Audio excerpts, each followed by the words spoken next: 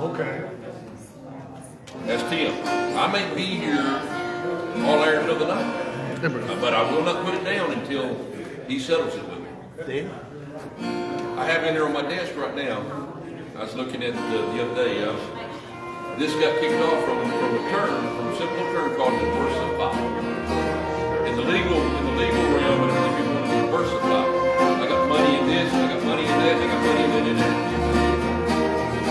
It's like we're trying to enter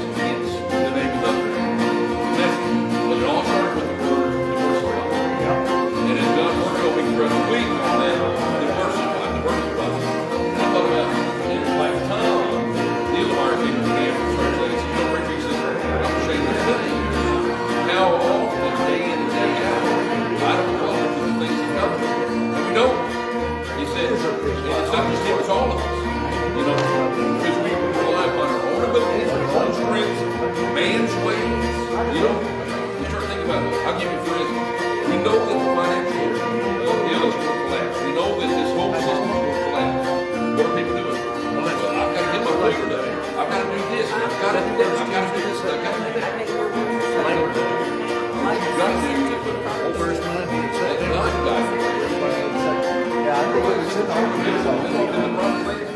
That- They didn't do anything That's in the wrong thing. And guess what? All the food, provisions were already there. So, we're not God do that for us now? Think about this. All the praise is supposed to happen. Internet goes down. Dollar collapses. All the praise is supposed to happen. I the same thing that happened during the time of Gideon in the 300. We get into the 300. Remember how they all started acting crazy and down there in the valley, they all started cutting each other up and killing each other. and. I can foresee where that happens. All of a sudden, the power goes out, the craziness sets in, and I can see people doing all they can do. What I'm saying, go to the street. I can see people going to the street and start going.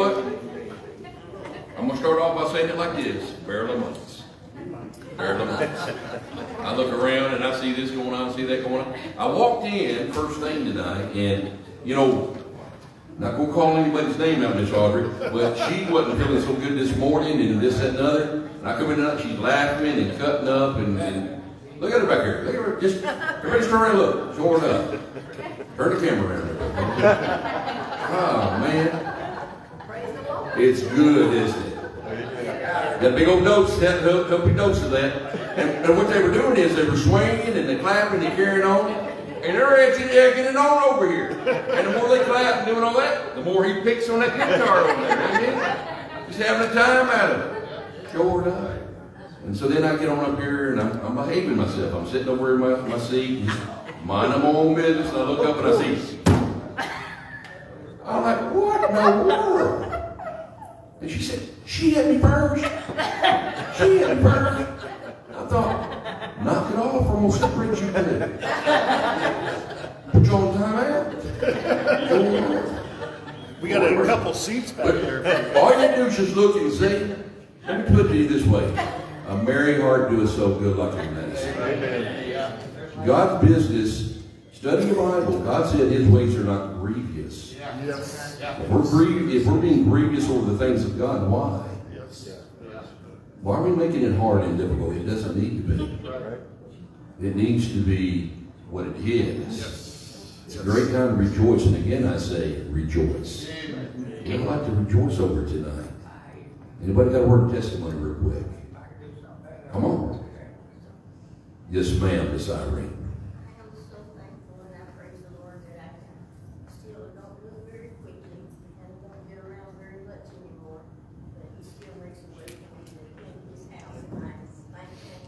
Amen. Still thank him that I'm going and I can come and be a part of this wonderful people. Amen. And a pastor that I wouldn't trade for, I don't know about it. Amen. I love you, sister. I love you. They said I was stirring the pot. I don't know, let y'all decide for yourself. But as they were coming in and everything, she said, I got this, I got this. and everything. I said, back off, Daryl, let your mama have it. and everything. Stop stirring the pot, preacher. I said, now I know why you're on the other side of her over there. Because you're afraid of that cane. That cane, right? Come on, Daryl, come on. Amen. Sure enough. Oh, it's all good, brothers and sisters. You know, it's good to be able to get around family and have a good time. Yes. It's, uh, it's good to see you, sister. Yes. It truly is good to see you. What a, what a great blessing. All God's people said. Anybody else tonight? Yeah. We got ten going to count. Come on. Let's see your jig. Come on. Come on, Danny. Let's go get over. Woo! Come on. Come on, Danny. He's on the verge, Mike. I had him on the verge. He's just about ready. I, I can't dance. Well, we're all over that. What's, what you been able to and, and doing are two different things, Dan. There are a lot of things you can't do. Go on and do it anyhow, so don't, don't worry about that. We're A- Amen, Kendra? sure enough. We pray for you, sister. We pray. Every day. Every day. Every day. Anybody else tonight? Yes, Charlotte. I had Brett back with me tonight, plays back. Yeah. Uh-huh. Amen. Ah, glad to be home then, then their grand, What? are you glad to be home? That's a B I N G O. B I N G O. I got that bingo big his name on it. Yeah, Brother Tim. Well, just listen to you talk, what, uh, coming to my mind is, I'm happy because I already had victory. Amen. Amen. It seemed like I was telling somebody just a while ago, Troy, Yes, you know, sir. we've already got it, we just ain't got there yet. That's right. Amen. That's right. We've already got it, we just ain't got there yet. Remember, I, I remember the story between Lester Roloff and, uh, Brother Dr. David Gibbs. And he, David Gibbs told Brother Roloff, he said, we've lost, we've lost. He said, no, sir, no, sir. He said, David, and he, lined him out there, he said, listen, we don't fight for victory, we stand in it. Amen. He said, we've already got it, son. We do. He said, you know, because he told him, he said, you don't want to stay in jail a bit longer. He said, you misunderstand. We're not fighting for this victory, we already got it. And we do. We just ain't already got there yet. Right. Anybody else? Yeah, Troy. Yeah, just as you use me. I mean, I love being used of the Lord to help Amen. people grow. Amen. I mean, and it causes me to grow greatly Amen. All right. from what I'm trying. It's, it's amazing. You know, and then I don't have a big flock like you, and I just think of the knowledge around. that you're obtaining. There may, that, there may be knowledge up here that got put up there. That's, that's all fine and good, but look around. We've got each other. We've got each other, and there's so much, so much importance uh, upon that. Anybody else tonight? Yeah. Doris. God for my kids getting home safe. Amen. I haven't seen them yet, but I've talked to them and I know they're in their. It's good to be back in the country, amen. You know, I seen her at lunch, we, we were getting ready to pray over the food and everything, and she came out there and she said, oh, guess what, preacher? They're back in the country. Yeah, United States. yeah, amen. They hit touchdown there, they're making their way home. Especially that far. That's Amen. too far for me. Long, long ways. Yes, No yes. On that same subject, we met a guy last night, that he came back from the Philippines. All that stuff going on up north, he landed in New York City and they canceled all their flights. Told me four days before they get home. All the rental vehicles for two hundred miles was taken. They had a friend in New Jersey come and pick them up, drove two hours to Gallup. When they got back to New Jersey, he had to rent a U-Haul truck and drive back to Tennessee. Wow. So them getting home safe is not a gift. Right, amen. It's not, that's God's grace. What a, what a blessing, amen. Anybody else tonight?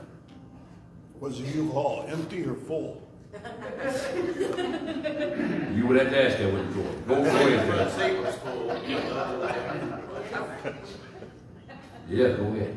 Well, um, I'm not a church hopper or anything like that, but before we started coming here, we did go and visit a few friends' churches and different places. And I just am so thankful for this church. I love this church, I love everybody in it. And I'm thankful for the word, I'm thankful for a good Yes, pastor. yes. Well, thank you. But it's y'all, everybody here, it, it, what you put in is what you get out. Yes. Amen. Look around, that's why I said, I told, look around. Look what God's blessed us all with. Great blessing. Anybody else? Yes, you. It is also a blessing to see um, Miss Jean and Miss Wanda had a good time. You know, um, Miss Wanda and Brother William always stick together and just wherever Brother William there you are. And I'm just so happy that Miss Jane you reach out for Miss Wanda or Miss Wanda will reach out to you. It's just a blessing to see that, you know, uh, the church family band together and it's a blessing for celebrating with them. Amen. Amen. You don't have to take a big major thing. I was finding out something today. I didn't realize was going on and everything, but somebody took, took the initiative and was sending out little letters to somebody during a difficult time. And it meant more than what you can imagine. Remember, it's the little things, a long ways. And look, that's why I say look around the brothers and sisters we have. I, I was listening the other night when, uh, Kim, you talking about your sister. And it's good to have your sister next to you right there. Much more than just a friend. And it is. And, and Jen said, well, I ain't leaving her. Gonna be right there for her. And you have been, sister. And it, it means everything. And that's, and that's the whole point. And we have each other we lean on, and depend upon, and, and help, and, and love, and care for. Amen. Anyway. Go ahead. It's fixing to get that rough in here? All right. Anybody else? I got some more Kleenexes at home. I brought them once. I'm gonna bring some more. It's all right. Go, go ahead, Jeff. We, we got to praise, I, I just got to tell you, uh, Ju, Julianne got to go to Chattanooga and stay the night. We was worried, you know, God traveled to and fro and all the stuff they did, and she come back safe. It's just like when your, Amen. your family was down there playing music in Florida, when people are gone, you, you worry and you pray for them. But, but God, it's not a given, that they'll come back safe, so I mean, God's good to us. Amen. Amen. Anybody else? Richard, Yeah. I'm sure that Thursday night, we were a big blessing at that little church by going over there with the meeting. Praise the Lord, it was good to see a bunch of people in that church. Amen. Amen. That's, and I, and I feel for them over, brother, man. You know, really do. You know, it's the first time I've ever been over there with them. You know, y'all pray for that church, Cornerstone, pray for them. Uh, the state didn't do them real good when they, when they fixed the road up there because they didn't fix their interest coming in. And it's dangerous, it's hard. And so when you have, uh, people want to go to church over there and they don't know how to get off the highway to get down in there, it's just hard. And it's really hurt the church. It really has hurt them. Uh, but pray, uh, hopefully they can get that worked out. And they put a new entrance in, into the church there. It was good. We'll be with y'all over there. that night, brother. Anybody else? Yeah, Mike? I'm, I'm in God's house, I gotta thank God for what he's done. I just, I think about the people here, and we've been having lessons in Sunday school, we had a lesson a couple weeks ago about Mordecai. And I'm sitting here thinking as we're talking, maybe we're here for a time such as this. Yes, sir. Amen. There. Yes, sir. Amen. Yes. What we just talked about? Yes, sir. That's what you said? Amen. Anybody else? Yeah. I, I want to say I love my church, and I'm so thankful for my sister telling me to try St. Mary's Mm-hmm. when I was looking for a church, and I'm so thankful that she did. And I miss her here, but at least I am here, and I Amen. thank God for all my church family. I, I love everyone Hey, here. Well, we love you. And we're glad you're here. too. You're a great blessing, sister. You're a great blessing. Matter of fact, you got a dear sister sitting next to you over too, by the way. Yep, that's right. Anybody else?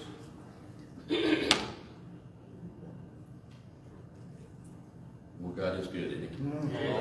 all the time. Blessed be the Lord of my strength, which teacheth my hands to war and my fingers to fight. Now, before you get that up kilter and don't understand what he's talking about, think about what we're here for. You see, we do fight the devil. There's a lot of lost souls out there, Brother Jeff, that needs to be redeemed. Amen. That's what we do. We take the fight to the devil. And every time we win one, that's one he can't have. I'll Amen. never forget the nights I used to go over to the jail and preach, and, and uh, God would give me a harvest. And I'd come out of there, maybe two, three, that night got saved, maybe four or five. I've had as many as sixteen get saved at one time. Amen. I come out of that jail there, no matter how many it was, whatever. But every time one got saved, I go out there, brother, brother uh, Dan Harder, he looked at me, and he's like, Richard, you're crazy. Sorry, maybe I am, but I'm a good crazy. Yeah. And I get out there and y'all hold your ears. That's another one the devil can't have. Yes. Amen. Amen. I warned you. I gave you heads up. I told you, I warned you. I'm here to tell you, it's worth shouting about when the That's devil right. loses. We're in a battle, we're in a war. Yep.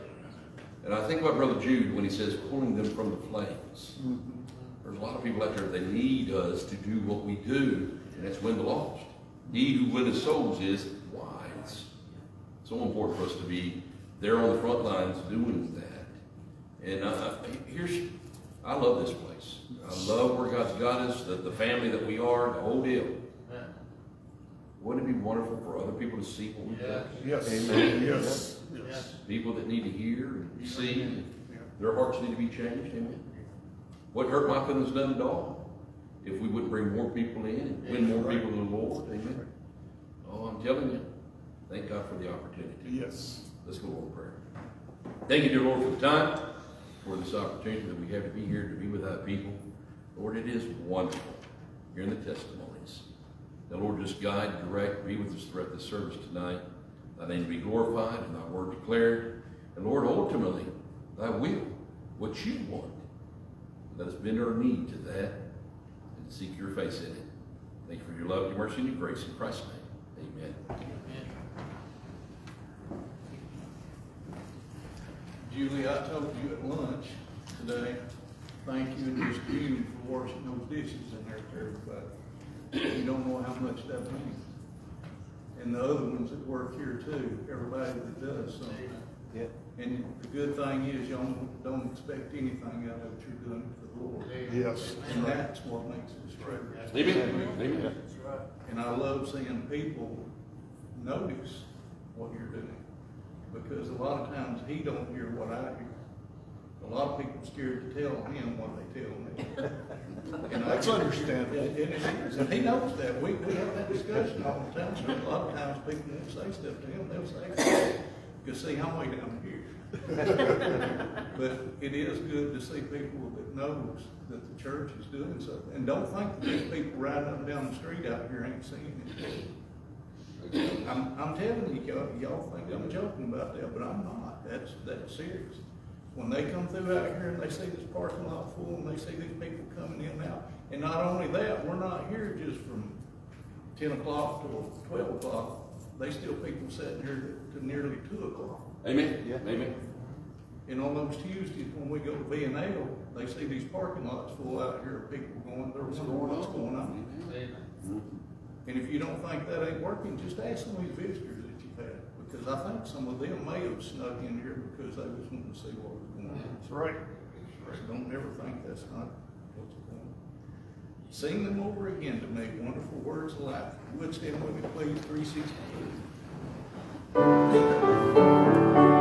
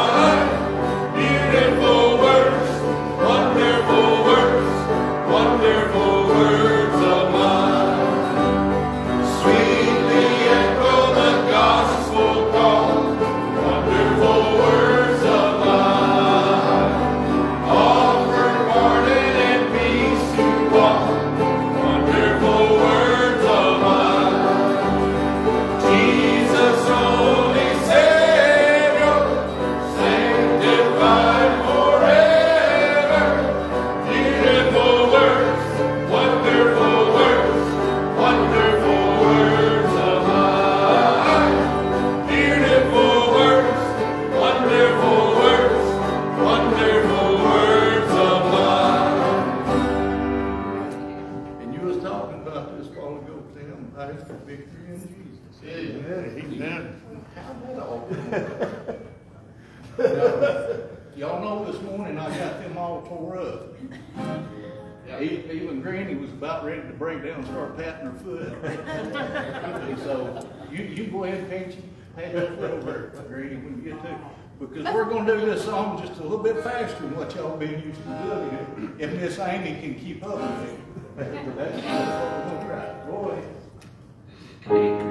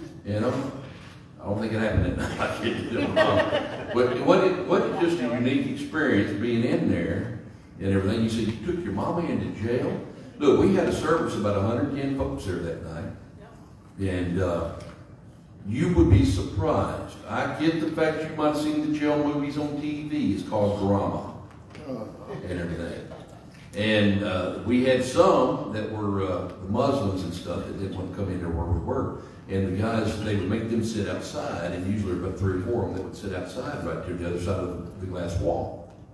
And um, I didn't mind that too much because uh, y'all know me, I'm gonna make some racket. And I imagine somewhere along the lines, Brother Jeff, they were hearing the message, so amen, right there. Yeah. And all, but it was a wonderful deal. During that period of time, in about four years' time, I witnessed over 450 people come to Christ between it and the church I was pastoring at that point in time. And it's just wonderful to watch God work. And it really is, you know, if we just get out of God's way and let Him do it, Yes, He'll do it. yes. He definitely will.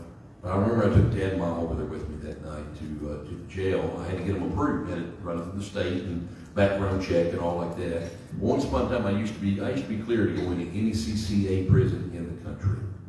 I was, I was eligible to do that. You know, I've let all that slip. I, there was two, matter of fact, in Wayne County, there's two uh, jails over there. One is Wayne County, what they call Wayne County uh, Correctional. And uh, that's where we had the boot camp, that's where we had our biggest services. And then there was the CCA prison, which is on the other side of the, the ridge from that one. So they had two, they had two prisons in Wayne County, uh, Tennessee. And uh, usually what they do a lot of times is they bust up, if somebody gets caught in East Tennessee, they send them to West Tennessee to go to jail. And if somebody gets caught in West Tennessee, they send them to East Ten- Tennessee to go to jail. All that's by design. They don't want them fellas to have interaction with their past life or with family and things like that, because a lot of those guys got in there because of the elements and influences and things like that. And so they, they, they begin to reach out to you. They begin to, uh, you know, they, they begin to connect with you. And uh, one thing I made a made a very uh, a collective, uh, a very determined uh, deal that I would never do. And they would start to try to tell me. It was funny. They come up to me. They call me. They call me father. I said, "Don't do that. I'm a preacher. I'm not. A, I'm not father. That's him." I said, "Don't do that." Uh, You got to remember these guys. They, all they, they know the religious world. That's all they Yeah, you know. yeah. And uh, so I'd have to educate them on that. But uh, they would come up and they, they, they'd want to tell you things. And I'd say, look, we'll talk. But I said, I don't want to know what got you in here. I don't want to know what got you in here. And the reason that is, is because if we go in it looking at it from what's wrong, we'll never do with what's right. That's right. See, if I knew what, for instance, if I'm dealing with a guy and I know that he got in there because he messed with a child, I'm not going to be so well dealing with that guy. And it was better that I didn't know. I was being honest with you. It's better I didn't know. He said, oh, "What's your preacher?" But we still have to deal with flesh. Yes, You need to understand. You need to know people. yes. And so dealing with them, I didn't. in, and there's times they would try to tell me. I said, "No, no, mm, mm, I don't want to know." I said, "All I need to know is that you understand you're a sinner, that you need a savior. That we can deal with." And I would open up the scriptures, and and sometimes, uh, like I said, I've had as many as 16 plus. Uh, this one night, I had uh, a few others that went in there with me, and I allowed them to take a few with them, and I had 13 that I personally dealt with it at, at one time. You know, it's just, you know, you're, you're in a time frame, you have a time limit there. They come forward on their own, and I asked them straight up, why'd you come? I need to be saved. Well, I can, I can deal with that. You know, until they understand that they need to be saved, I, there's, there's not a lot you can do until they come to understand it. That's right. And they said, I, I need to be saved. Well, I'd open up the Bible and start showing them. And all, it just, it's just a beautiful thing. But uh, in four years' time, 450 people come to Christ between that and the church I was pastoring at the time. And I just rejoice over that. I don't know how many uh, the Lord's allowed me to win, but you know, we'll see when we get into glory. But Yes. the Bible does say he who winneth souls is wise. We were talking this morning about uh, a person that we're praying that, you know, God would save them. And y'all pray that God would save them. You know, it's just, we want, we want that. We want people to get saved. And uh, this week coming up is camp. Next Sunday, they're going to leave out of here after our lunch. Excuse me, make our way over to the camp. And of course, Brother Andrew's going to come over and he's going to be with us next Sunday morning. And uh, helping Brother Danny to get all the stuff over there and everything. We appreciate that. But what we're really praying for, these kids that are going away to camp, some of them may need salvation. Yes, yes. And some of them may be that God's getting ready to call them to something. Yes. Don't know. Yes. Well, let God do what God does. Amen. You say, well, what if it's one of yours? I'm all right with whatever God wants. Yes. I'd be a fool to stand in his way. Mm-hmm. Not gonna do that. I just rejoice over what God does. And so I'm excited. You said you got ten right now, and possibly two more And on. the boys are outnumbered. And the boys are outnumbered. Boys, y'all better step it up. There's only three boys and everybody else is a girl. That's all right. There'll be more when we get over Danny. There'll More when we get over, sure enough. But these are blessings, and looking forward to that. And then, of course, the last Tuesday this month, putting Bibles together, nine o'clock, be here. We'll make our way over there to the Bible barn. And then, as we look getting into the next month and everything, you've got the overcomers, that second Saturday right there, ten o'clock, y'all be here. And uh, looking forward to that. And then, of course, we're gonna have our fish fry next month and got all that going on. And just looking forward to all that. So we just, you know, we got things to do. And we think God will outdo that we'll be able to do them.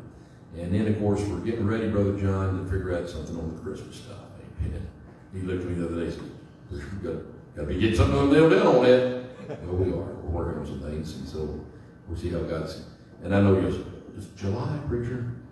Y'all do realize it takes time to put these things together. Oh, yes. Sure enough. We're always having to be thinking ahead. Because if you don't, it'll come and be on you and you're like, oh, maybe we can write cards to each other. I don't know. We just have to see. But we do want to do something that makes an impact. We want people to really focus and think about why we're doing what we're doing. And so there's much more to that. I was talking to Troy before the service. It's not a light thing. It's not a light thing. Sometimes what you might think is insignificant and small, there's a much bigger picture, picture that's being played out before you. All right, we're going to go over in prayer and ask the blessing upon the offering tonight. And it could be in God's house. I mean, how many of y'all glad you came tonight? I know I am. Tim, ask God to bless you over the offering. Father, who art in heaven, we come before you tonight, Lord, just thanking you for another opportunity to be in your house. Just thank you for the many things that you are doing in this church. We ask that you be with Davy and the teens as they go to uh, camp. Just pray that their heart will be open to you, Lord. You use them the way you need to use them. Just pray for those that are sick and afflicted in this church, Lord, that you strengthen them, and that you come back and be part of us again. We just thank you for this body of believers, Lord, that love you. In Jesus' name we pray. Amen. Thank you.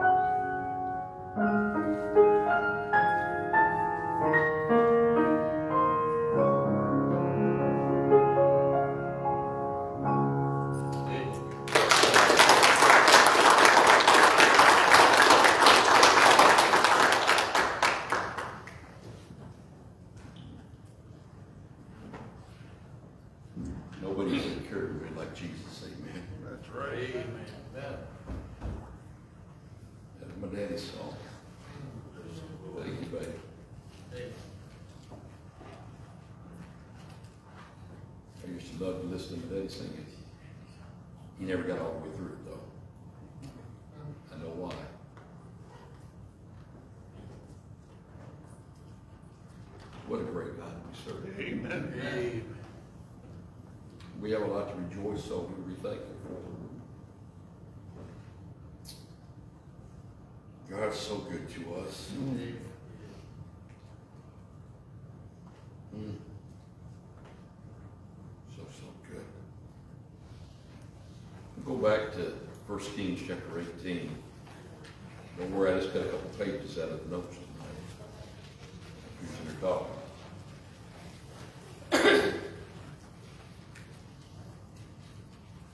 Well, I'm going to give you three things to kind of think about what people talk about when they say,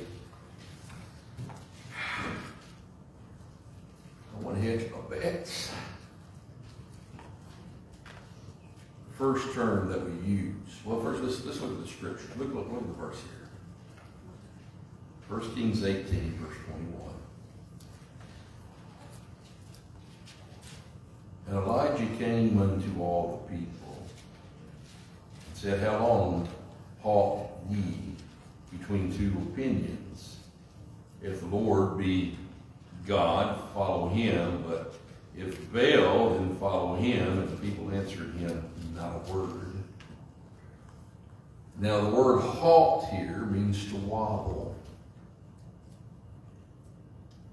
Kind of teetering back and forth. That's what he's talking about. Miss Sarah, she came out into the vestibule this afternoon, and her brother Ted's getting ready to go out, and you might have noticed she's got a boot on her foot, and she was kind of had to get her balance there for a second. She was halting uh, back and forth, hobble. Another term that we use. That's what that means. Teetering back and forth. Well, I'm for God, I'm not for God. I'm for God, I'm not for God. I'm for God, I'm not for God. Choose you this day. That's right. Make a mind up. Yes. They ever seen church age is all about fence travel. We talked about that this morning, but the terms that we use that kind of brings to light, Brother Jeff, where we're at, I want to start off tonight by diversify. Yes. This message was centered around this very word because I hear people use it about I've got to hedge my bets, I've got to diversify, I've got to put a little over here and a little over here and a little this, a little that, and so on and so forth. And let's be honest about it, we're doing the same thing when we talk about prepping for what's coming. Now, as you're thinking along with me tonight, I want to ask you a question. Well, first and foremost, what's coming? Can you tell me? We've all heard that it's coming, but what is it? What crash? The dollar. All right, the, the dollar crash. I'm going to let you in on a little secret right there, and I appreciate the feedback. Let you in on a little secret right there. The dollar has to crash. The dollar has to crash. Now, why do you say that, Bridger? Why does the dollar have to crash? Because in Matthew chapter number 6, verse 24, God said you can't worship God and mammon. The reason why the dollar has to crash is because man has made money God. God. Yes. Anything that gets exalted above God has to crash. So money has to crash. Mankind today is looking to money.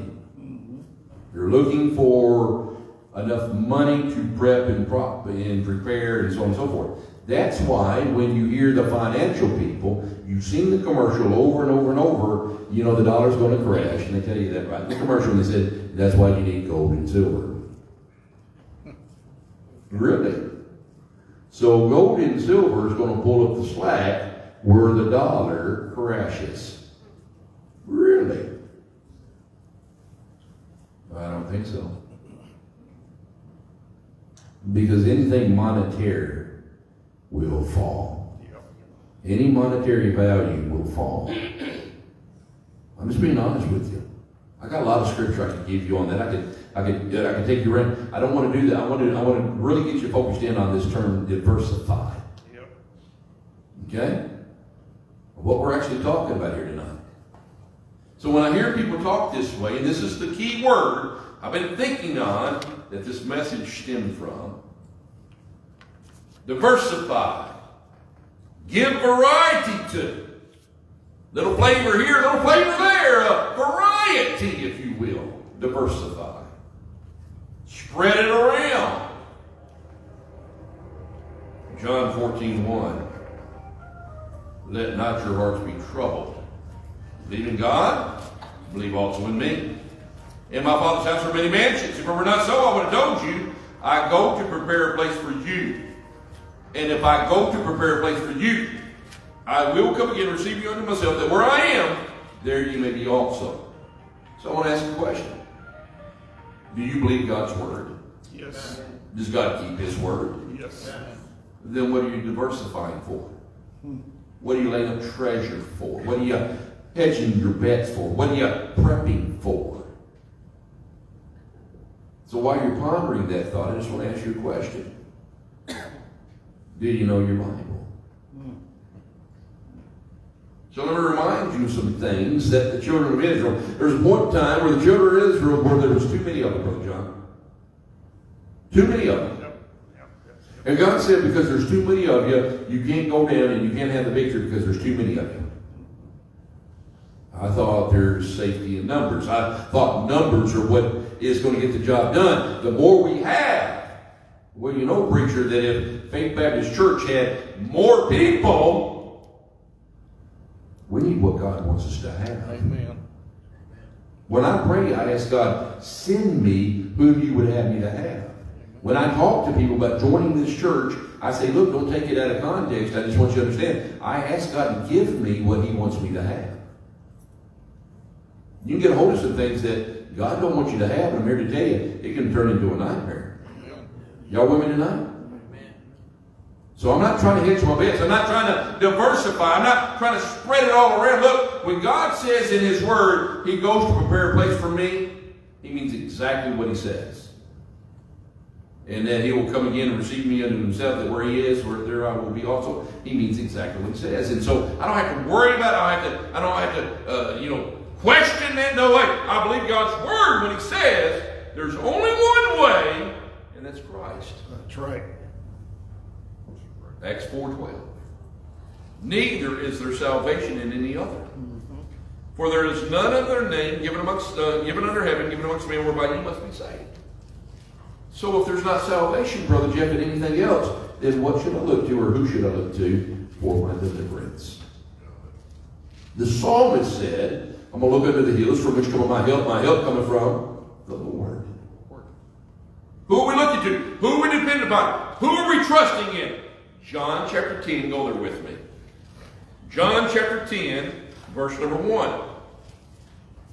Verily, verily, truly, truly, I say unto you, he that entereth not by the door into the sheepfold, but climbeth up some other way, the same is a thief and a robber. How else you going to get there? How else are you going to get there? There's only one way. Everybody's got ideas. Everybody's got thoughts. But we done discovered uh, just uh, about a few months back, Brother John, his ways are not my ways and his thoughts are not my thoughts. So if there's all these other ways and all these other thoughts, where do we need to get ourselves to? That's right.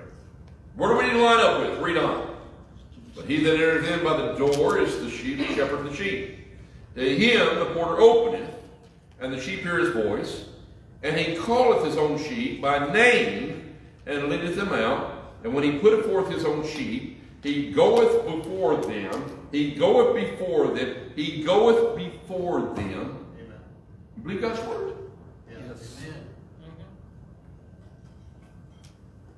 I will never leave thee nor forsake thee. Amen.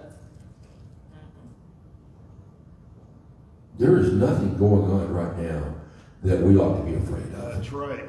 That's right. We don't need to worry about prepping for anything. Don't misunderstand me. We don't need to worry about prepping for anything. I'm going to remind you of something I learned from the Word of God. Richard, we don't prep. We're not going to have anything when everything goes down. Really?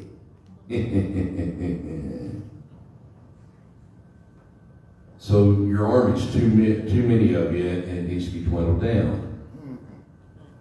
Well, how are we going to get our army down? Well, what you going to do? You're going to take them down to the brook, and you're going to let them drink from the brook, and watch and see how they drink it. That's going to give you the idea who you're going to keep and who you're going to send home. And all those that got down there At the brook, and they cupped that water in their hands, and they drank like this. Three hundred, they kept. Yep. All the others going back to the house. What?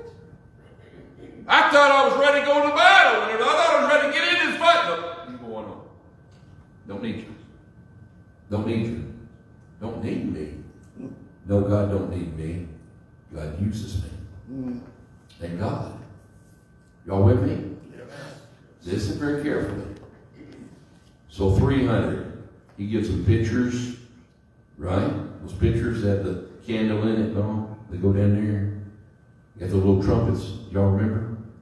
They broke those when he said, the glory of the Lord and Gideon. And he shouted out, blew the little trumpet. Woo! All like that. And then what happened? What do you think's going to happen when lights go out? Internet goes down. When all this craziness sets in. And then what happened after all that happened? Getting his bunch up there after all was said and done. All those right there. See, they went up, and they killed each other. And Gideon's men didn't have to raise a hand. Yep. You say, what do you mean, Richard? When you trust the Lord, He's still got it worked out. That's right. When you trust the Lord, He's already got you victory. You just haven't got there yet. You need to understand this. It is a biblical truth that God already has it worked out. Yes. Yes. My question to you is, what do you believe? What do you believe? You believe it's evil to serve the Lord? But Joshua said, yeah. if you do, choose you this day whom you will serve. But as for me, my serve the Lord. Decisions already been made. I don't have to wait for the lights to go out and all these other things to happen. No, hey, it's already been made. I know what I'm going to do. When that time comes, because I understand. Okay, well, we got to get gold and silver. We got to get all this other stuff. Have you ever read your Bible? Mm-hmm. You know what happens to gold and silver? It Crashes. Boom. They throw it in the street. That's what happens to that. Walk on. What? Yeah. If you want gold and silver, just wait around and pick it up out the street. I wouldn't advise it. You say, why? It's just going to weigh you down. It's going to be an unwanted burden. Say amen right there. That's right. That's right. You see, God's word is here for us. It's here for our enlightenment. It's for, it- it's for our education. It's to grow us, to develop us, to understand that only God is the way. That's right. When Jesus said in John chapter 14, verse number 6, I am the way, the truth, and the life. No man cometh to the Father but by me. What are you prepping for, and who are you prepping against? Yep. Understand that. Does Jesus love you? Does he care for you? Yes. But he that entereth not by the door, or he that entereth in by the door is the shepherd of the sheep. To him the porter openeth, and the sheep hear his voice, and calleth his own sheep by name, and leadeth them out. And when he putteth forth his own sheep, he go before them, and the sheep follow him, for they know his voice. Are we listening? Yes. And the stranger that will they not follow, but will flee, uh, will, will flee from him, for they know not the voice of strangers. This parable spake Jesus unto them, but they understood not what things they were which he spake unto them. You know why? Because they were none of his. That's right. Read on. Then said Jesus unto them again, Verily, verily, truly, truly, I say unto you, I am the door of the sheep. All that ever came before me are thieves and robbers, but the sheep did not hear them. I am the door. By me, if any man enter in, he shall be saved, and shall go in and out and find pasture. Well, that was for a certain time, preacher. That's for all time. Yep. That's for all time. Let me ask you a real, real serious question. We're learning the Bible tonight. Genesis chapter 3. You see him in the garden. Genesis chapter 2. He created man, breathed into him, became a living soul. Genesis chapter 1. He planted it all. God said it was good. Okay? Did man have everything he needed? Yep. By Genesis chapter number 1. Amen. Yes. God, that's all. Yes. Come on now, I said, I need y'all's help tonight. Yes. Most definitely. But we didn't have internet. Thank God. No cell phone. But we didn't have Walmart. Praise the Lord. But Yes. what about Amen. what about you know the, the drugstores and such? Drugstores Don't need them. didn't need any of that garbage. Herbs. We still got crows, that's right. Do what? Say it again, Brother Jim, huh? God would have told them what herb to eat if they had an ailment, but they didn't even have ailment. So Didn't have no evidence because you had herbs and every little thing that man needed. Same thing right there. the main thing they have is God. Oh, you're you're you're one of those.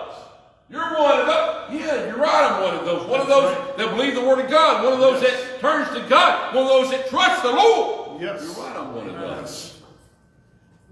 Yes. We had all that, didn't have all this, and we were in a better situation. And God said it was good. Yes. Yes. We all would have to be honest and looking at it across the landscape and say, "Hey, preacher, it ain't so good." I know. And we got all this other garbage out here. Yeah. So what are we trusting in? What are we relying upon? What are we looking to?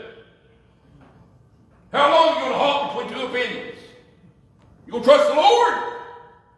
You going to trust man? Well, you know, got to go to the doctors and everything. Look, go to the doctors. But there come a place and time where that doctor's going to look at you and say, hey, we've come as far as we can come, and we can't take and do no more with you. You know what the doctor has to acknowledge? There's a hand of God. That's right. And God will do the rest. God does. Matter of fact, I'll never forget the time when the doctor told my dad, said, Mr. Scott, you'll be dead in two years. 24 years later he was. I think he missed it about 22 years. Say amen right there. Yeah, that's right. The point is, brothers and sisters, doctors have their place, but they ain't God. That's right. There's medications, they have their place, but they ain't God. All these things. And by the way, a lot of stuff that we do, we do a lot of stuff that harms ourselves. Amen.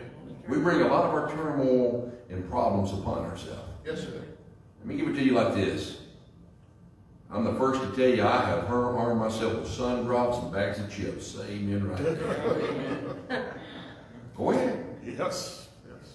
That's all right. You can say it on yourself too if you had sun drops and bags of chips growing up. Say amen right there. Amen. Growing up did. Oh, we liked it. I used to tell people, boy, I like it when that old citrus stuff would be floating around in the bottom. How many of you remember when there were glass bottles and it floated in, and the stuff floated in the bottom? Amen. Woo, sun drops. Yes, I know. Oh, Middle Tennessee was, well, ran in here, we was sun drop drinkers, same in right there. Amen. You get one of them suckers cold, oh, man. In the bottom. The sugar intake was through the roof. The bottom. That's right. Amen. Amen. I've done a lot of damage to myself because, uh, as we grow, we learn, we begin to get educated, and we begin to see some things differently. I want you to understand something tonight. You see, when we want to diversify, who we looking to, who we trust. That's right. That's right. Jesus said, I am the door. By me, if any man enter in, he shall be saved and shall go in and out and find pasture. What that means, Brother Jeff, if you trust him, you'll eat. Mm-hmm. You look to him, Mike, you're gonna eat, brother. The thief cometh not but to steal, kill, and to destroy. Mm-hmm. I am come that they might have life, and that they might have it more abundantly. Let me remind you one other verse before we go to the next one. The 23rd Psalm. I'm going to cut right through it for the sake of time tonight. He prepares a table before me in the presence of my enemies. You know what that means? Exactly what he said in first or in John chapter 10, verse number 10. He's telling you right there he knows how to provide when others aren't getting it. Amen. Amen. So what are you prepping for? Thought we learned that lesson in the wilderness. Thought we learned that in the wilderness. That manna came down. When they got that manna on that day, what if they want to be lazy the next day and sleep in? And they keep a little bit extra overnight. What happened to that manna going into the next day? What's that? Yes. Well, maggot eating stuff out in the, in the trash. It's garbage. Can't eat that junk. Right. Because God said that we eat His Word daily. Yep. It's a day-to-day process. Day-to-day process. Go back and read your Bible. Day-to-day process. Give us this day our daily bread. It is a day-to-day process as God provides, He gives to us, He takes care of us. I'm not trying to spread it around. Anybody that thinks that there's any other way, Jesus said, I am the way, the truth, and the life. Amen. There's another thing I want you to see, terms that we use when we start thinking this way. Double-minded man. Do you understand that the Bible says that a double-minded man is unstable in all his ways? A-L-L, all his ways. Yep. For the sake of time, I'm going to drop down to about verse number six in James 1. He says, But let him ask in faith, nothing wavering, for he that wavereth is like a wave of the sea, driven with the wind and tossed. For let not that man think it, that, that he shall receive anything of the Lord. God ain't about instability, he's about stability. God wants you solid. Yep. Mike, you've been teaching those kids in the back how long now? Twenty-three years. You know why? Because you're faithful. Faithful. Amen. I had somebody one time come to me and she wanted uh, to take over the teams. She came to me and she said, Preacher, God talked to me. I always find it very uneasy when people say, God talked to me. I remember as a boy, there was a man that said he saw a 900 foot Jesus and that God came to the foot of his bed and talked to him. And I still a little hesitant, hazy about that one. Wanting to build this hospital. Of course, he told everybody he had healing powers. So why would you be building a hospital if you got healing powers? Save the money, put it towards missions, and go around and lay your hands on people. That's right. That's just me, though, anyways. I digress.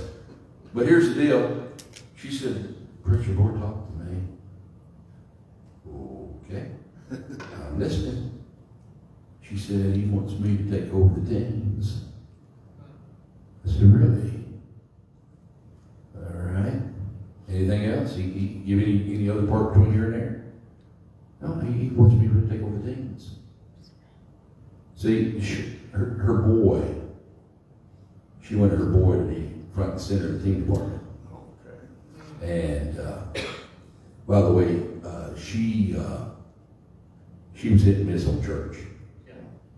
She'd be here this Sunday and may miss two, three Sundays, and then be back here.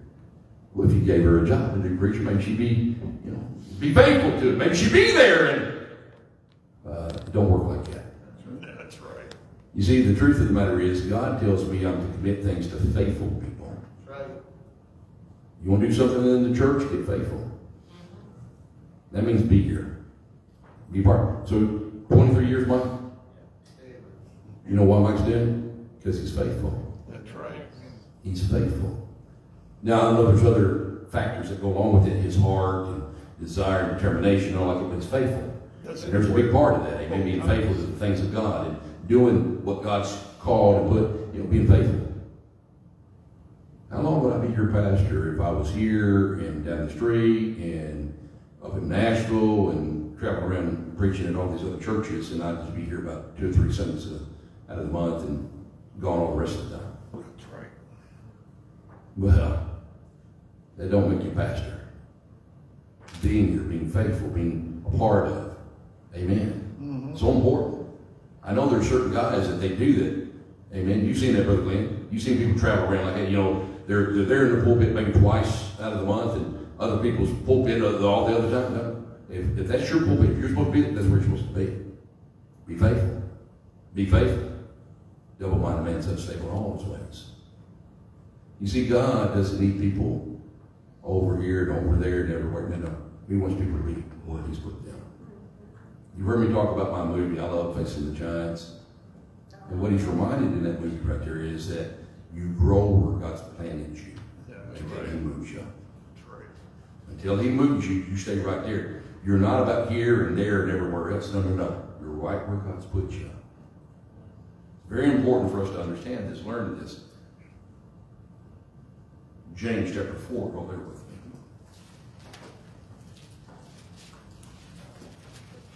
From whence cometh wars and fightings among you? Come they not hence, even of your lust, that war in your members. Lust and war, uh, you, you lust and have not, and you kill, desire to have and cannot obtain, you fight war, yet ye have not because ye ask not. Ye ask and receive not because ye ask amiss, and, and that you may consume it upon your lust. Ye adulterers and adulteresses. And by the way, before you start thinking that he's talking on the sexual side of this, that's not what he's talking about when he says the adulterers and adulteresses. He's talking on those that are with the world and not with him. Yeah. What he's talking about right there. Read the rest of it. Know ye not that friendship with the, of the world is enmity with God? Whosoever therefore will be a friend of the world will be an enemy of God. Do you think the scripture saith in vain, the spirit that dwelleth in us listeth to the envy? But he giveth more grace, whereof he saith, God resisteth the proud, but giveth grace unto the humble. Submit yourselves, therefore, to God. Resist the devil, and he will flee from you. Draw nigh to God, and he will draw nigh to you. Cleanse your hands, ye sinners, and purify your hearts, ye double-minded. Ye afflicted and mourn, and weep, and let your laughter be turned into mourning, and your joy into heaviness. Humble yourselves, therefore, uh, humble yourselves in the sight of the Lord, and he shall lift you up. So here's the deal. You either on God's side or you're not. That's right. You either with the Lord or you're not. Double-minded people, Brother John, it's awful hard to do anything with. Right. How long are you going to walk between two opinions?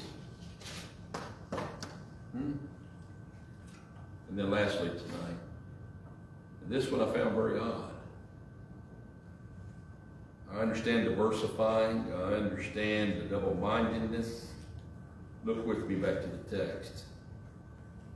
And Elijah came unto all the people and said, How long halt ye between two opinions? If the Lord be God, follow him. Mm-hmm. But if Baal, then follow him. Period. And the people answered him not a word.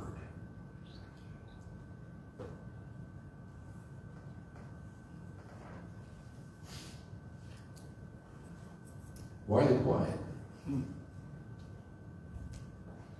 Why do we get quiet?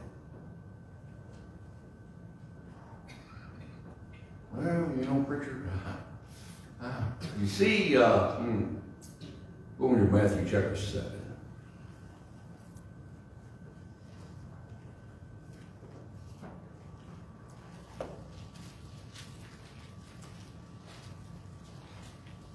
The third thing I want you to see tonight is opinions.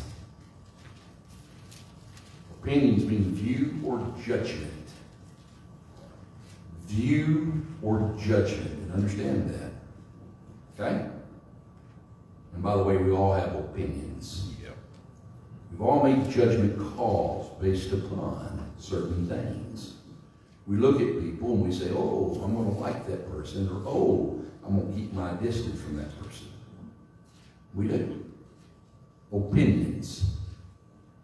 How, how, how long you gonna hawk between two opinions? Make your mind up. And he said they didn't answer, they, they, they didn't say a word. Say a word. Matthew 7 1. Judge not, that ye be not judged. Now, if I was going to do like a lot of people, I'd stop right there. Well, you Christians always want to judge people. Be careful. One bad thing we don't need to do is twist Scripture and take things out of context. Okay? Judge not that you be not judged. For with what judgment you judge, you shall be judged. With what measure you meet, it shall be measured to you again. What is he talking about? With what judgment I judge, I shall be judged, and what will meet shall be measured to me again. What, what's he talking about? Well, he goes on and starts giving some examples. Verse 3. Why beholdest thou the mote that is in thy brother's eye, but considerest not the beam that is in thine own eye? Mm. He says you're real quick to point out somebody else's problems, but you're not really that eager to look into your own problems. Or how wilt thou say to thy brother, Let me pull out the mote that is in thine eye, and behold, a beam is in thine own eye? Thou hypocrite. First, cast out the beam out of thine own eye, then shalt thou see clearly to cast out the mote out of thy brother's eye. Now, what did he just tell you right there? He didn't tell you not to deal with what the other person's dealing with. He just said, first, get yourself in order. Get yourself in order. Meaning, when you get yourself in order, Troy, now you're more eligible to help out those around you. And you'll have a better, clearer thought process in how to handle that situation. Y'all with me tonight? Yes. Not stopping at judge not lest you be judged. Yes. I'm telling you, that's the wrong thinking. Not what he's talking about, because there's sometimes you got to make a judgment call. He's going to go on and expound on this. You don't stop here. Read on. I kept this whole passage for this very purpose. Look what he says. You hypocrites, get rid of that beam. Get rid of that splinter. Give not that which is holy unto the dogs. Neither cast ye your pearls before swine, lest they trample them under their feet and turn again and rend you. Now, dealing with a brother, you see, all right, I'm going to get myself in order. I want to help my brother out. I want to do it in the right spirit, the right temperament. Now we're here, we're ready to take care of this situation. Now we're walking on down through life, and now I see somebody else down here. They've got some problems. He comes back with some different terminology and says, hey, this time, don't cast your pearl before swine. What is the most valuable thing that you have? Should be the Lord. Jesus Christ. The Bible. Yep. That's your pearl. That's the pearl. The Word of God. And how you handle the Word of God and how you deliver it and who you share it with makes a big difference. Do you understand some people are out there just only to argue? Yes. Yep. You ever dealt with anybody and all they want to do is argue? Oh, you want of them Bible thumpers, and they want to show you up, and they want to come at you in such a way, don't cast your pearl before swine. You know what you're going to do? They're going to turn and rend you. That's exactly what he said. Yeah. And they will abuse it, they will misuse it, and they'll make a mockery out of it, and you're not going to get anywhere with them. But I want to help them. Good. But you need to also understand your limitations, what you can and you cannot do. That's right. Who's in control? Who's guiding the ship? Amen. And if it's the Lord, learn when to and when not to. How am I going to do that, preacher? Be sensitive to the leading of the Holy Spirit of God. In Matthew 4, Jesus was led of the Holy Spirit of God into the wilderness to be tempted by the devil. Why? Because God was making an example here, and he was using Jesus to do it in the process by surrendering to the leading of the Holy Spirit of God. Yep. And if you listen to the Holy Spirit of God, He'll tell you sometimes, back off. Shut your mouth, Shane. Don't say anything. Hush up. Bite that tongue. Right now is not the time. But I want to say something. No! You don't say anything when God tells you not to say anything. That's right. When God tells you to say something, I'm afraid to say something, say it. God tells you to say it, you step up and you say it. Le- learn how to follow the Holy Spirit of God, and it'll and direct you in the right area. Yes. That's right. Remember that. Who's leading here? Who's in control here? Who do we follow here? And that's what he's talking about. Don't cast your pearl before swine, they'll turn about and rend you. Read on. Ask, and it shall be given you. Seek, and you shall find. Knock, and it shall be opened unto you.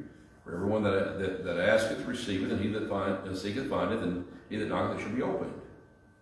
Now here we are again. Remember, he's breaking this thing apart. I love Matthew chapter 7. He's breaking it all apart. There's so much here. He says, Everyone that seeketh me shall be opened. Or what man is there of you whom, if his son asks bread, will he give him a stone? Or if he asks fish, will he give him a serpent? Ye then being evil, know how to give good gifts unto your children, how much more shall your heaven, uh, heaven shall, shall your Father which is in heaven give you good things to them that ask him? Ask, seek, find. Yep.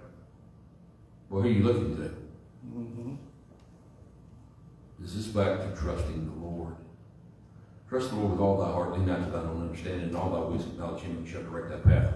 Do you trust God? Yes. Yes. Careful about saying it, Troy. There's those times when we don't. That's what I'm talking about. How long will we halt between two opinions? Are we really trusting the Lord like we need to? Or are we already trying to map out and figure out and, and, and decipher on where we need to be and what we need to be and where this, yeah, the collapse is coming, preacher, and we've got to get our dollars in order, we've got to get this. What if you got your dollars in order and the collapse happens and everything and nobody takes a dime? Because what they have, they don't want to trade. Then what are you going to do? And no amount of money, no amount of money will cause that to change. When the dollar goes belly up, it's not worth anything. And by the way, they, they'll come to find out that those other things aren't worth anything. And the only thing that I found that is worth anything is the Lord. Relationship. That's right. Amen. The Lord. Read on.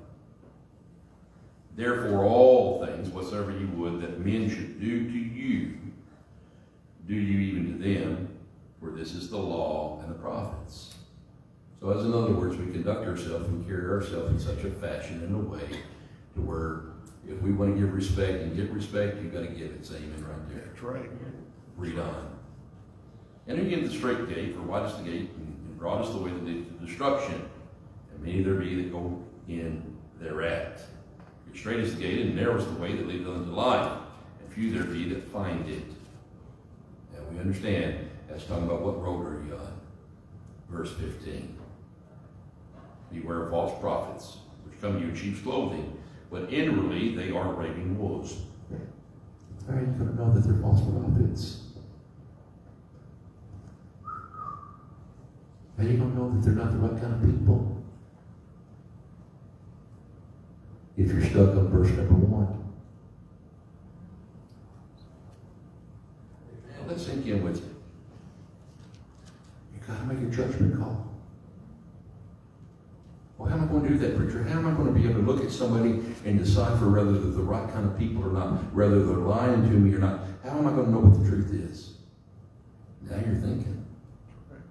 Now you're doing some thought process. Now you're thinking. Now you're starting to put some things to mind. Yep. Read on. You shall know them. You shall know them by their fruits. Do men gather grapes of thorns or figs of thistles? Even so, every good tree bringeth forth good fruit. Okay? He's giving you outlines, Brother Jeff. This is what you look to. This is what you use as the guidelines. You know what that does, Julie? It takes all the heavy lifting out of it. Yep. Here it is. By their fruits you shall know them. Okay? Read on. Even so, every good tree bringeth forth good fruit, and every corrupt tree bringeth forth evil fruit. A good tree cannot bring forth evil fruit, neither can a corrupt tree bring forth good fruit. Every tree that bringeth not forth good fruit is hewn down and cast in the fire. Wherefore, by their fruits ye shall know them. Amen. The reason why he re-entered it a second time. Verse 21. Not everyone that saith unto me, Lord, Lord. That's the religious crowd. Mm-hmm. Playing a game, acting as if. Not everybody that says, Lord, Lord. Don't buy into all that. Well, they did this right here and went across the goal line. That don't make them a believer. That's right. Read on. Not everyone that saith unto me, Lord, Lord, shall enter into the kingdom of heaven, but he that doeth the will of my Father which is in heaven. Well, what is God's will? Well, he's not willing that any should perish. So his will is that all men would be saved. Yep. Well, how are they going to be saved? Through his son, Jesus Christ. That's what he's talking about. Read on. Many will say to me in that day, Lord, Lord, have we not prophesied in thy name? And in thy name cast out devils, and in thy name done many wonderful works. Then will I profess unto them, I never knew you. Not that I knew you and you lost it. I never knew you. Yep. You were rested upon your, your actions to get it. And it ain't going to be on your actions. Didn't know you. Depart from you that work iniquity.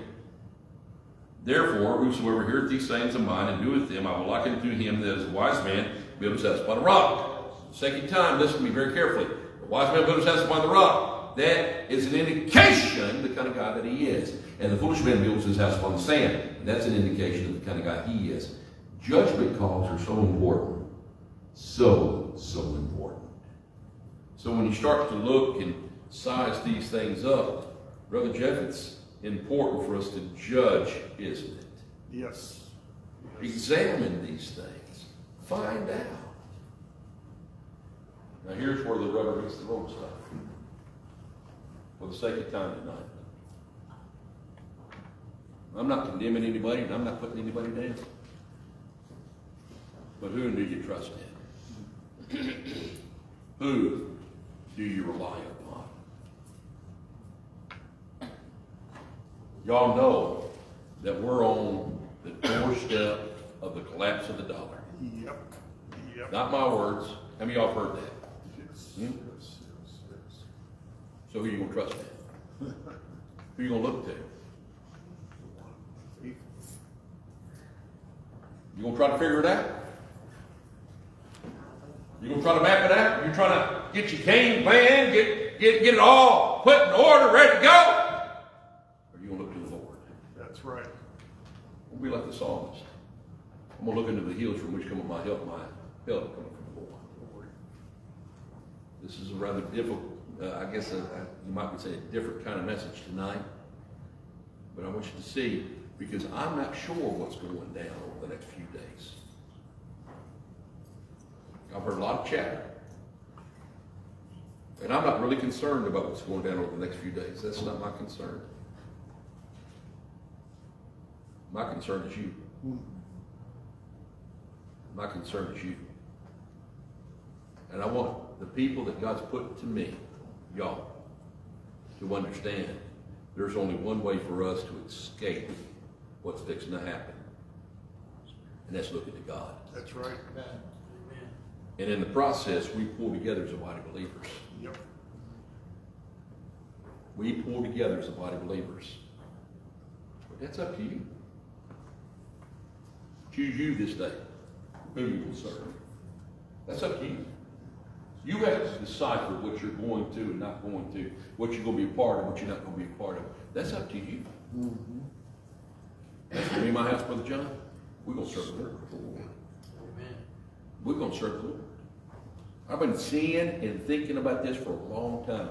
For 20 years, I've been thinking of this. And here we are coming very close to the time. You know one thing God showed me? He showed me not to be selfish and self-centered in the process. He showed me there's a bigger picture at play. He showed me that his people are important and that they would need their pastor to lead them. Mm-hmm. But we don't force anybody to do anything. And along this journey is what we're about ready to embark. You're going to have to decipher what you will and what you will not do. You'll look at this scripture right here, and Elijah does not force anybody to do anything. And the Bible says they didn't even say a word. Ain't time to be silent. Hmm. It's time to open up. That's right. Let's pray. Lord, as we bow before you, we say thank you for the opportunity. Please, Lord, use this for thine honor and thy glory. Help us, God, us, direct us, see us through these days. Thank you for your love, your mercy, your promise, your word, and ultimately for you, being who you are. Be God great in this all the time. In Christ's name, amen. All stand, we'll for the child. Few hundred seconds, God, for the heart you come. Second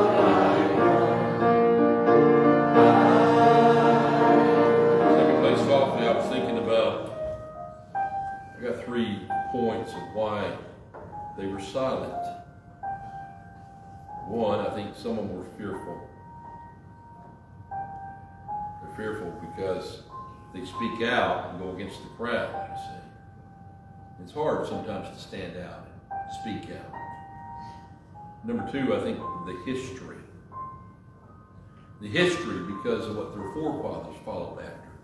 You go back and read the previous chapters there before you lead up to that. They were chasing after strange gods. They were after other little gods's, and they they had history of that. And they always would divert back to their old gods that they used to have. So history is a difficult thing to overcome, and it really is.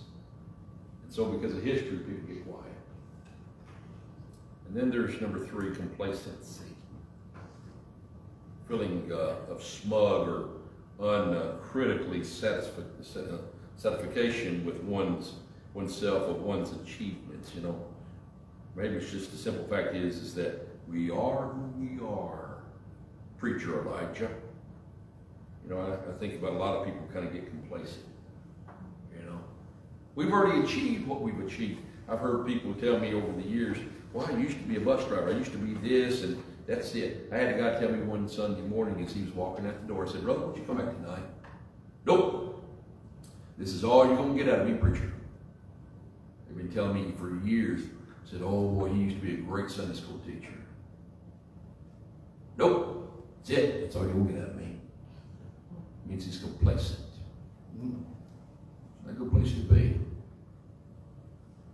Fearful, not a good place to be. History, history holds you back if you're not careful. Why do we do what we do? How long are you going to hawk between two opinions? It's a great time to follow the Lord, isn't it? Yes. Amen. Thank God for the opportunity. Before we dismissed the prayer tonight, I do appreciate you being here. Keep on keeping on. Pray for these young people as they get ready to go to camp. camp. Pray God has his way with them. Brother Mike dismisses the prayer. Dear Heavenly Father, we come to you tonight. We thank you for the many blessings you give us, Lord. I thank you for the message you brought. Lord, may we put it in our hearts. May we not wait.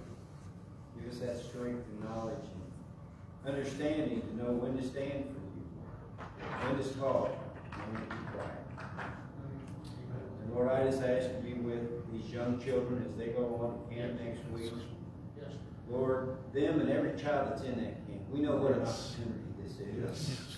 Lord, we ask you to just work on their hearts, whatever it be that you'd have them to do, commit to, wh- whatever, you know. Lord, I just ask them to have a wonderful time, be safe, return safe, and come back and tell us what a wonderful experience they've had. And may that experience just help us Lord, I ask you to be with everyone here in this church. I ask God for each person in this congregation. I ask you to put your arms around them. Lord, everyone here needs a hug, Lord, and especially from you. And I thank you for that in advance. Lord, be with us as we go about our days, our week. Bring us back Wednesday at that next morning time. And I ask all this in Christ Jesus' name. Amen. Amen.